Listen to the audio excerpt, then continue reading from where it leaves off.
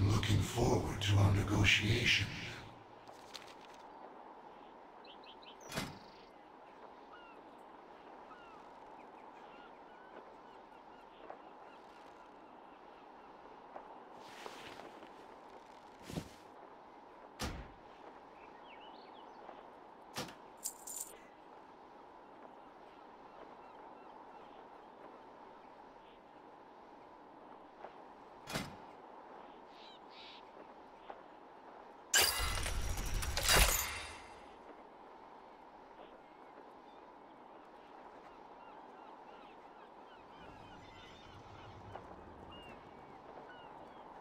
Thank you.